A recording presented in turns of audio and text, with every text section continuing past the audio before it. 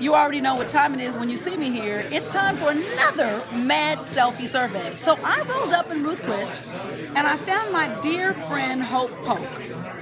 Say hi to the Hello. Marlon, Marla and Dave family.